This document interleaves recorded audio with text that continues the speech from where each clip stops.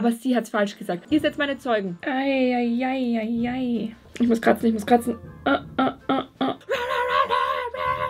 Hallöchen Leute und willkommen zurück zu einem neuen, uh, gruseligen, spooky Halloween-Video. Wie ihr sehen könnt, bin ich heute alleine, zumindest hoffe ich, dass ich alleine bin. Jedoch wird dieses Video zusammen mit Isabel oder wie ihr sie vielleicht auch kennt, Beauty Bands sein. Wir beide lieben nämlich Halloween und wir lieben es auch Halloween-Looks zu schminken. Deswegen dachten wir uns, wir bestimmen gegenseitig unsere Halloween-Looks, aber nur über Sprachmemos. Und das ist auch so die kleine Challenge daran. Das heißt, wir dürfen wirklich nur sozusagen den Look beschreiben über Sprache. Wir dürfen keine Fotos schicken, keine Videos und sonstiges. Und das Coole ist auch, Isabel sitzt gerade in Deutschland in ihrem Studio. Ich sitze hier in Österreich in meinem Studio. Und wir werden jetzt gleichzeitig diese Looks schminken. Und dann am Ende werden wir uns hoffentlich, wenn es klappt, FaceTimen und dann gegenseitig schauen, wie gut wir den Look getroffen haben. Macht das Sinn? Äh, wenn nicht, dann schaut euch einfach das Video an und es wird dann, glaube ich, irgendwann klar. Und Isabel hat mir auch schon die ersten Sprachmemos geschickt. Ich habe mir noch nichts natürlich angehört, deswegen bin ich ultra gespannt. Und ich würde sagen, wir starten jetzt.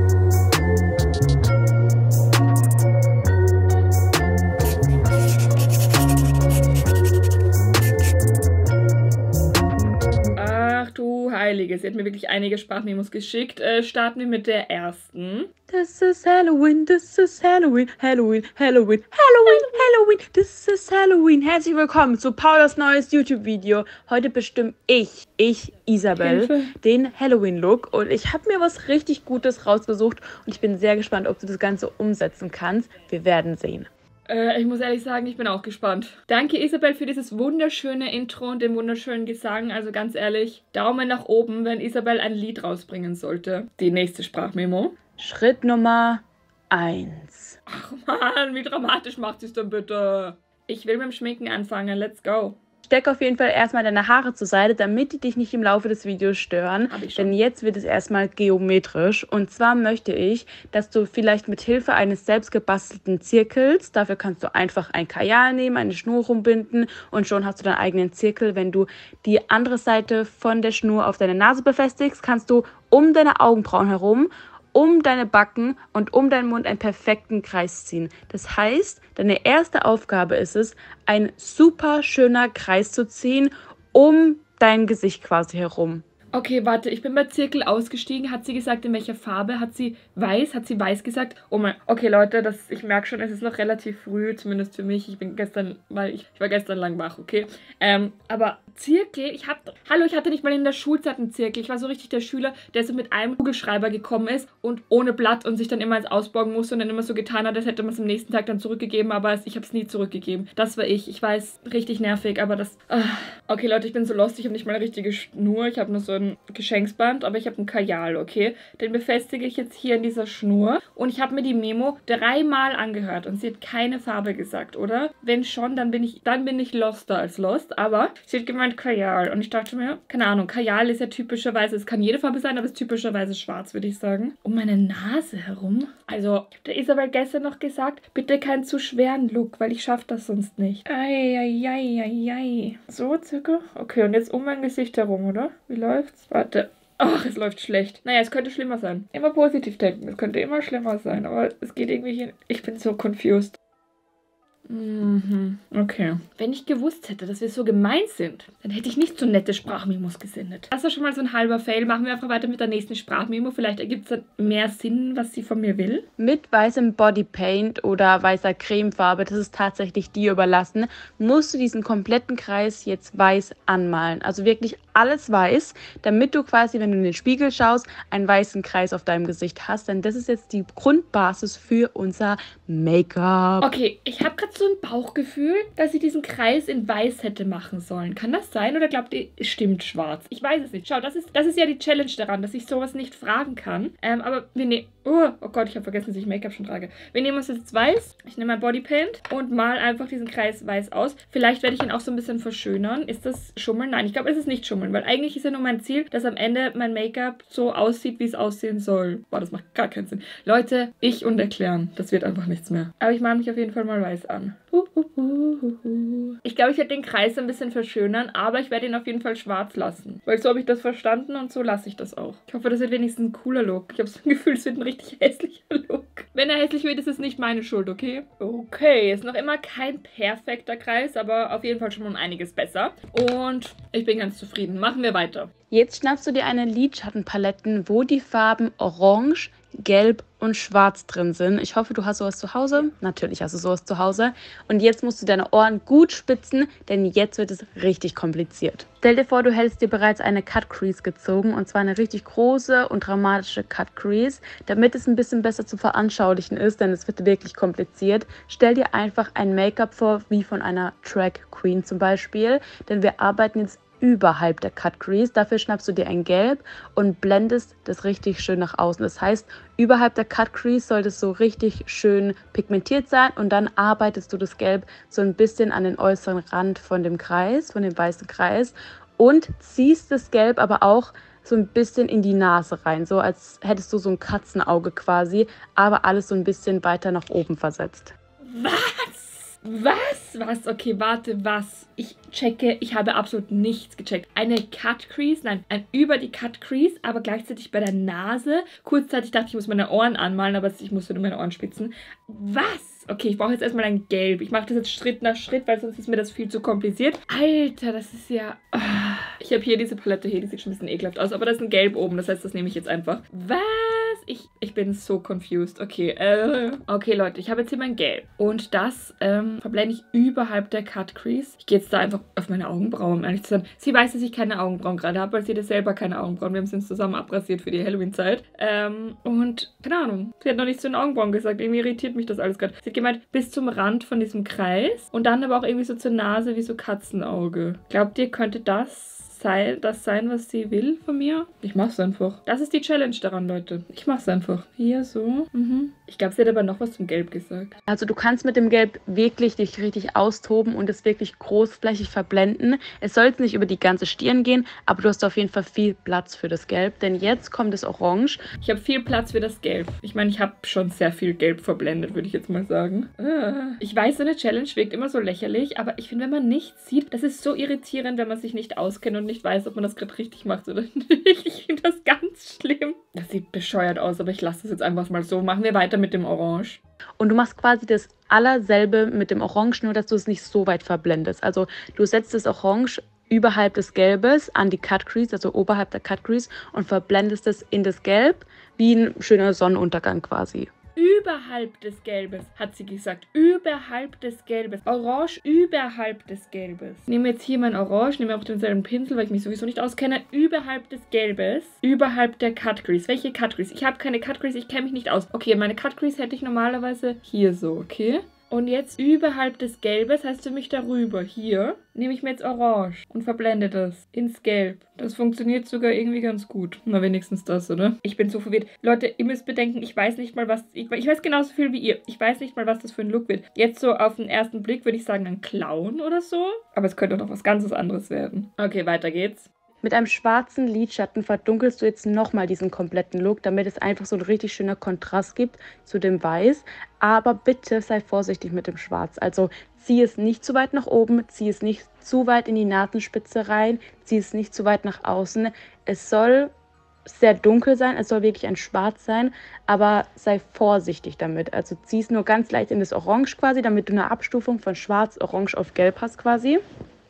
Und jetzt sollte man auch richtig schön diesen Kontrast sehen zwischen Cut Crease bzw. weiß und schwarz. Das heißt, es sollte jetzt aussehen, als hättest du dir eine richtig krasse weiße Cut Crease gezogen. Leute, ich habe gerade nichts gecheckt. Nichts, okay? Ich hatte kurz einen Moment, wo ich dachte, diese schwarze Linie stimmt doch und ich muss jetzt irgendwie so das Schwarz so rein verblenden. Nein, ähm, ich muss das Schwarz in den Lidschatten verblenden und ich glaube, ich habe es falsch gemacht. Ich glaube, das Orange hätte hierher gehört, aber sie hat es falsch gesagt. Ihr seid meine Zeugen. Isabel hat es falsch gesagt. Sie hat gemeint, überhalb des Gelbes. Und was heißt überhalb? Oder bin ich einfach, ich, es könnte auch sein, dass ich einfach falsch liege. Ganz Leute, ich bin, Leute, ich bin schon dann. Ich bin jetzt schon dann mit dieser Challenge. Was mache ich jetzt? Soll ich jetzt das Schwarz hier in der Mitte oder soll ich es jetzt hier unten? Ich glaube, ich mache es unten. Oder, Leute, was habe ich gemacht? Das ist komplett falsch jetzt. Ich nehme mir schwarz. Oh, das sieht so belämmert aussehen. Ich mache das einfach so irgendwie. Glaubt ihr, das ist so halb richtig? Es gibt sowieso kein Zurück mehr. Wir müssen es jetzt so machen. Ich sag's, wie es ist. Besser als das wird's nicht mehr. Aber ich finde es irgendwie tatsächlich sogar ganz cool. Also ich habe es auf jeden Fall falsch. Ich glaube, ich habe bis jetzt alles falsch. Aber es ist cool. Hoffe mal, es geht ein bisschen einfacher weiter. Jetzt schnappst du den schwarzen Eyeliner und ziehst dir einen richtig dicken Wing.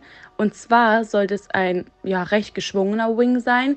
Und du ziehst den so arg nach innen, dass es wieder aussieht wie ein Fox Eye. Also du sollst auf jeden Fall dieses diesen Shape quasi haben von diesem Fox Eye. Okay. Und auch auf deinem Lid soll der sehr dick sein, der Eyeliner. Das heißt, es sieht aus, als hättest du, sage ich jetzt mal, Lidschatten auf dem Auge, weil er halt quasi dein ganzes Lid schon fast bedeckt. Aber achte darauf, dass du auf jeden Fall dieses Weiß oben noch hast. Also es soll quasi aussehen wie schwarz, weiß, und dann den Lidschatten-Look. Verstehst du, wie okay. ich meine? Also man soll auf jeden Fall diese weiße Cut Crease noch sehen. Das heißt, der schwarze Eyeliner darf nicht zu groß sein. Okay, okay, okay. Das schaffe ich. Also das habe ich schon mal zumindest mal gecheckt. Ich glaube, das ist das Erste, was ich jetzt komplett gecheckt habe. Weiß ehrlich gesagt nicht, ob das jetzt gut oder schlecht ist, dass das das Erste ist, was ich checke, aber naja. Also, wir haben einen recht geschwungenen Eyeliner. Groß. Ich mache ihn einfach mal so groß. Und dann geht er das ganze Lied. Ich habe ja noch viel Platz beim Weißen. Ich glaube, ich habe es ein bisschen zu hoch gemacht. naja. Und dann soll es aber so ein Katzenauge sein. Das ist jetzt mal so meine Grundbasis, aber so hätte ich es jetzt mal verstanden. Und natürlich ausmalen, den guten Eyeliner. So, ähm, irgendwie sieht das so ein bisschen aus bis jetzt wie so ein Punk-Look, würde ich sagen. Okay. Ah.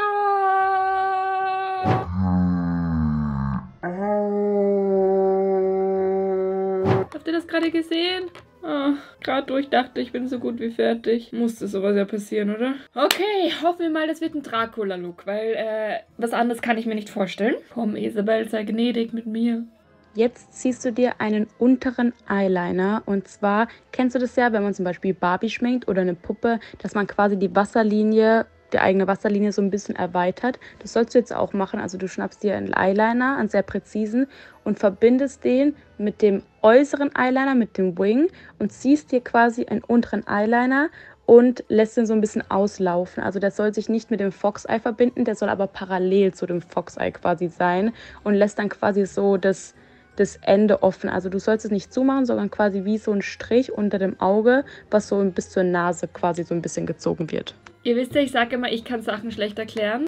Ich glaube, Isabel hat mich gerade übertroffen. Ich habe es so halb verstanden, aber es so kompliziert. Okay, also, es ist ein Eyeliner. Ah, ihr seht ja nicht mal was, aber ich muss in den Spiegel schauen, weil das ist mir gerade zu präzise hier alles. Ähm, okay, der geht von dem hier aus rüber und dann lassen wir so einen Spalt. So, glaube ich. Ich glaube, sie hat so circa gemeint. Oh, das hat gerade richtig gejuckt. Ah, ich muss, ah, ich muss kratzen. Ich muss kratzen, ich muss kratzen. Ah, ah, ah, ah, ah, ah, ah, ah. Ja, so in der Art irgendwie, oder? Weißt du was, ich glaube, ich lasse den jetzt einfach so. Wird schon passen. Wie geht's weiter? Jetzt hast du so eine erweiterte Wasserlinie, mhm. also quasi so einen weißen Balken unterhalb von deiner Wasserlinie und da machst du jetzt komplett orangenen Glitzer rein und der soll sich natürlich wieder so ein bisschen auslaufen von innen, also das soll jetzt nicht so abgehackt innen aussehen, so quasi im Innenwinkel, sondern lass es alles so ein bisschen auslaufen, damit es so einen richtig schönen Übergang hat. Da soll jetzt noch orangener Glitzer rein.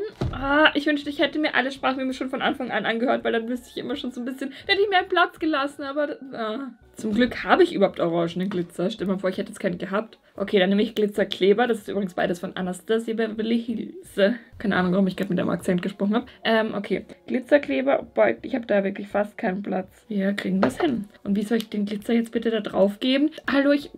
Ich habe mir einen präzisen Pinsel genommen. Das ist eh alles schon richtig im Arsch hier. Wow, das sieht jetzt auch noch aus, als hätte ich eine Augenentzündung.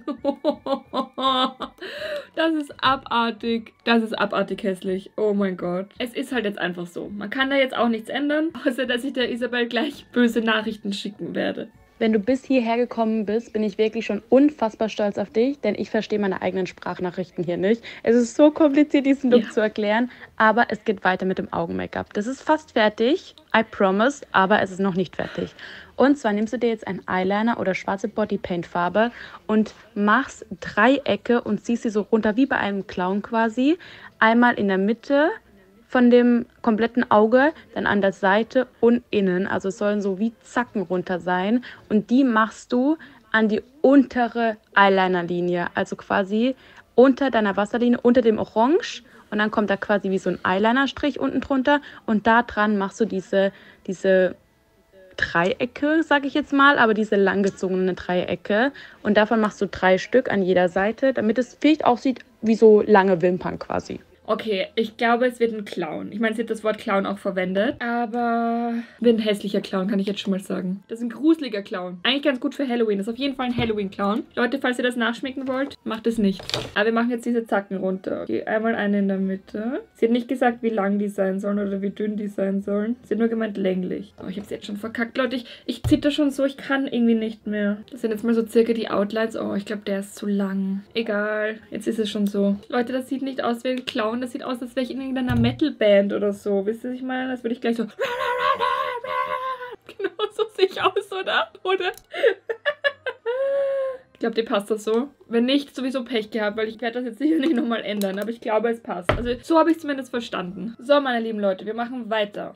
Ich verspreche dir, ab jetzt wird es nur noch einfacher. Und zwar nimmst du jetzt das Orange, dieses Glitzer-Orange, was du auch unter der Wasserlinie quasi hast, und tupfst es so auf deine Nase. Also das muss auch nicht irgendwie eine scharfe Nase sein, also so eine scharf verblendete, sondern du kannst es so richtig schön ausblenden, so ein bisschen nach oben einfach. Aber deine komplette Nase soll aussehen, als hättest du sie quasi einmal in Glitzer getunkt und dann einfach so mit den Fingern oder so so ein bisschen ausblenden. Okay, okay, okay. Ja, das kriege ich wirklich hin. Einfach eine Glitzernase. Gut, das heißt, ich nehme jetzt wieder meinen Glitzerkleber Kleber, den habe ich hier. Zum Glück habe ich das noch nicht weggeräumt. Hätte ich sowieso nicht weggeräumt. Ich räume meine Sachen nämlich nie weg. Mein ganzer Schminktisch. Ich schwör's euch, ihr seht jetzt nur den schwarzen Hintergrund. Hier vor mir und hinter mir und zeitlich überall ist einfach das Chaos ausgebrochen. Es ist einfach komplett bummvoll alles. Egal. Jedenfalls, okay, Glitzerkleber auf die Nase. Das Problem ist, man kann Glitzer nicht so richtig so schön verblenden, weil der klebt dann einfach überall dort, wo der Glitzerkleber ist, okay? Und sonst nirgendwo. Das heißt, ich muss den Glitzerkleber irgendwie so ein bisschen versuchen zu verblenden, okay? Dann nehme ich mir meinen Glitzer und ich glaube, ich gehe gleich mit den Fingern rein. So, ich habe jetzt hier am Fingerglitzer. Tschick, tschick, tschick, tschick. Und tu mir den jetzt auf die Nase. Das ist komisch. Das aus, hätte ich irgendwie eine Allergie oder so? Wahrscheinlich schon. Aber was soll's. Okay. Wisst ihr was? Der Glitzer, das stinkt irgendwie ein bisschen. Vielleicht ist es auch mein Finger. ganz ehrlich, was soll dieser Look werden? Was soll dieser Look aussagen? Was? Und außerdem, wo kommen jetzt diese Flecken auf einmal her? Es ist eine Katastrophe. Das ist eine absolute, ah, das ist ja schon eine Gemeinheit. Sollte ich mich überhaupt trauen, sowas zu posten? Das ist ja egal. Um ehrlich zu sein, habe ich keine Nerven mehr dafür. Deswegen geht es auch weiter mit der nächsten Memo. Jetzt schnappst du dir einen orangenen Lidschatten und malst dir zwei Backen auf, aber ausgeblendete Backen. Also es soll nicht so scharfkantig quasi sein, sondern einfach so zwei Kreise, die richtig schön so ausgeblendet sind. Hättest du mir das nicht sagen können, bevor ich diese Zacken nach unten geschminkt habe? Okay, orange, ausgeblendete Backen. Hm, ich glaube, so eine kleine Backe wäre besser gewesen. Ich habe eine überdimensionale Backe gemacht. Hm, na super. Vielleicht kann ich das mit ein bisschen weiß fixen. Okay, ähm, lassen wir es einfach so. Aber ich glaube, ich gehe jetzt mal kurz mit dem Eyeliner drüber, damit das wieder schön schwarz ist. Ah, jetzt habe ich es verkackt. Ah, wie geht's weiter? Jetzt kommen wir auch schon zu den Lippen. Das geht ja richtig fix hier heute. Und dafür nimmst du einen schwarzen Lip Liner und umrahmst deine Lippen aber beim Lippenherz bist du vorsichtig, denn du machst hier nicht so einfach so runde, schöne Herzlippen, sondern machst es richtig eckig, so dass es aussieht wie so ein Zickzack quasi oberhalb der Lippe. Und bei deinem Mundwinkeln ziehst du diesen Lipliner so ein bisschen nach außen, damit es aussieht, als hättest du als würdest du lächeln quasi. Also so ein bisschen so wie ein Clownsmund, sag ich jetzt mal. Okay, das habe ich gecheckt. Das habe ich sogar sehr gecheckt. Ich habe zwar einen schwarzen Lip-Liner, den habe ich aber verschusselt. Deswegen nehme ich einen, den Eyeliner, den ich auch für rundherum hier verwendet habe. Leute, wisst ihr, was mir gerade aufgefallen ist? Ich nehme jetzt einfach mal an, das wird ein Clowns-Look, okay? Ich habe einfach zufällig, finde ich, diese Zöpfe und ich finde, das ist auch irgendwie so Clowns-mäßig, oder? Vielleicht ist das ein Zeichen. Hier sehr eckig, hat sie gemeint, so zickzack. So eine Art, nehme ich an. Runter und dann so ein bisschen nach oben. Ich weiß es nicht, dass ich das gerade sage, aber ich glaube, der Look kommt so langsam zusammen. Also ich finde, es sieht von Schritt zu Schritt wieder ein bisschen cooler aus. Hoffen wir, es geht so weiter. Als Lippenfarbe benutzt du ein Orange und verblendest es ins Schwarze, so quasi in den schwarzen Lip-Liner, damit es aussieht wie so ein Ombre-Effekt. Und dann benutzt du nochmal das Glitzer, das Orangene vom, von der Wasserlinie und von der Nase und tupfst es so ein bisschen in die Mitte auf. Mm -hmm. Also ich meine, das klingt cool. Ich habe nur gerade kein Orange bei mir, das nervt. Ah doch, hier habe ich eins. Uh, das ist sehr orange. Das ist gerade ein richtig hässliches Ombre, aber ich dachte mir, jetzt kommt sowieso das Glitzer drüber. Das heißt, ich muss mir jetzt Glitzerkleber auf die Lippen schmieren, was nicht sehr ideal ist. Bloß nicht in den Mund bekommen, das, das riecht irgendwie schon giftig. Okay, ich muss jetzt zugeben, dass das sogar ganz cool aussieht. Ja, es sieht cool aus. Okay, ich habe es zugegeben. Es geht aber noch weiter. Falls du Kontaktlinsen hast, zieh bitte noch Kontaktlinsen an und zwar auf einem Auge weiße Kontaktlinsen und auf dem anderen Auge schwarze Kontaktlinsen. Und jetzt, falls du noch Lust hast und Nerven hast, jetzt kommt ein kleiner Bonus. Das musst du nicht unbedingt machen. Es ist eigentlich auch nicht so auf dem Bild, aber ich finde, es ist cooler. Deswegen würde ich gerne, dass du es trotzdem machst. Was denn? Du benutzt jetzt Wimpernkleber und fährst einmal um den Kreis herum damit quasi. Also am Ende von dem Kreis an der Kante trägst du überall Wimpernkleber auf und da machst du überall Blattgold drauf, so dass es aussieht, als wäre dein Gesicht ein Rahmen quasi. Weißt du, wie ich meine? Also drumherum um den Kreis soll einfach dieses Blattgold sein. Ich glaube, das könnte richtig, richtig geil aussehen. Also soll auch nicht zu viel Blattgold sein, einfach so eine Linie quasi Blattgold. Und dann würde ich sagen, trägst du noch eine orange Perücke auf und natürlich Lashes. Und bei den Lashes möchte ich, dass du richtig lange und dramatisch nimmst. Also die sollen nicht so richtig voluminös sein, aber richtig lang und so vielleicht so ein bisschen auch so Cat-Eye-mäßig. Jetzt fehlt noch ein letzter Step und der fehlt auch nur noch, weil ich ihn aus Versehen vorhin vergessen habe. Und zwar nimmst du jetzt nochmal deinen Eyeliner und machst dir nochmal so ein Dreieck überhalb von der Cut Crease. Also wir haben hier auf beiden Augen diese weiße Cut Crease quasi und darüber diesen verblendeten Look von schwarz, orange auf gelb.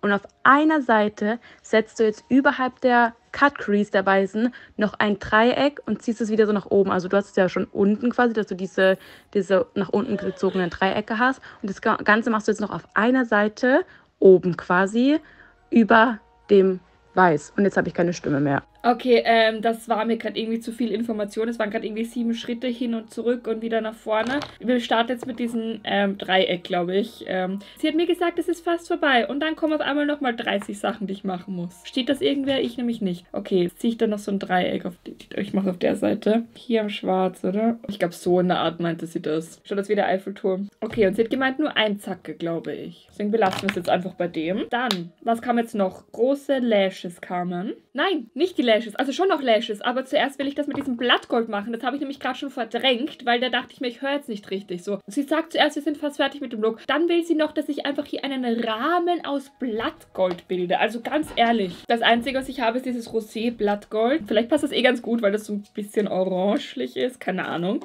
Okay, Wimpernkleber. Wow, okay. Schaut euch das mal an. Das ist so messy.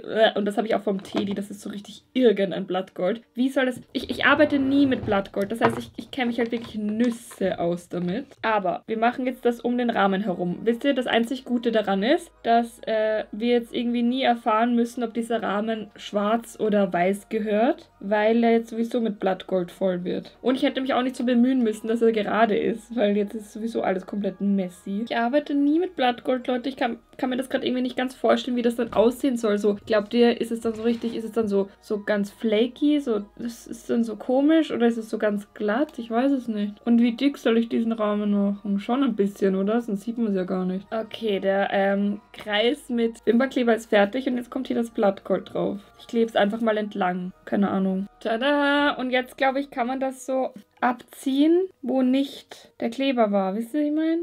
oder so zurechtrücken irgendwie. Ah ja. Also ich sagen, irgendwie klappt es, aber irgendwie klappt es auch nicht. Aber ich dachte, ganz ehrlich, ich dachte, es wird viel schlimmer. Okay, es klebt alles so halbwegs. Leute, irgendwie cool. Hey, ich mag's. Das ist echt cool geworden. Ich kann jetzt leider mein Gesicht nicht mehr so viel bewegen, weil sonst fliegt das vielleicht runter. Äh, jedenfalls, jetzt brauche ich noch überdimensionale Lashes. Da habe ich, glaube ich, ganz gute. Ich trage mir davor noch eine kurze Schicht Mascara auf. Das hat Isabel zwar nicht gesagt, aber ich glaube, das hat sie gemeint. Bin mir schon wieder ins Auge gefahren. Ah, mit dieser Mascara tut es richtig weh, weil die jetzt so lange Borsten. Boah, das hat gerade richtig weh getan. Oh mein Gott, mein Auge wird gerade richtig rot.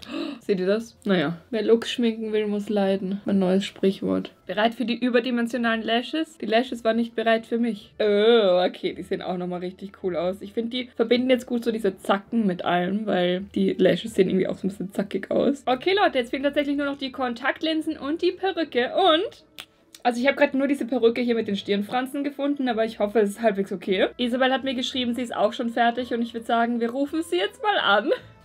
Hallo? Zeig mal. Oh, du siehst voll gut aus.